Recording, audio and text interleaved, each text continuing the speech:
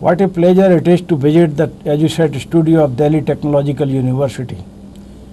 I am Professor P.B. Sharma, the Vice Chancellor of DTU.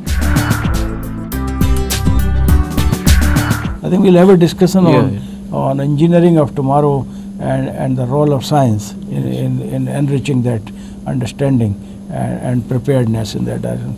So thank you so much, Professor Madhusudan. It was such a great pleasure meeting you, you here. Thank you. Uh, my friend Professor J.P. Kesari, he was also in France, Sweden. He has visited all those countries. So now today, we are very much fascinated that uh, these three experts from Australia are with us, and they are visiting our studio. Just I want to tell this. Uh, studio was started uh, in 2008 and this is this was connected to the satellite edusat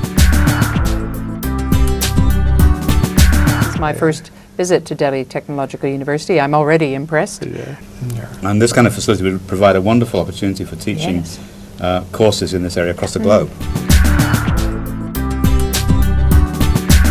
I welcome all the Mexican delegates who are here in our campus. It is my pleasure to welcome Professor jo- Rosenberg. Thank you very much. And uh, I'm very pleased to be here.